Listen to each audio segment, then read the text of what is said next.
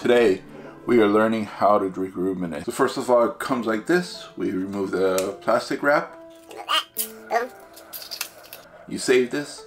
You pop this open right in here, right in the middle. You still see that. You pop it out. So you take this, take that. You can either use your thumb or palm. Palm is easier. You just push down as hard as you can. The marble gets dislodged right into there. As you can see, the marble is there.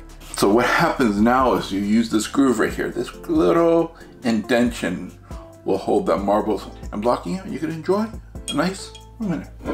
Or you can skip this whole process and forget this video and buy yourself one of these. Ramune bottle. No marble, no glass, no nothing. Just open and enjoy. But until next time, keep drinking.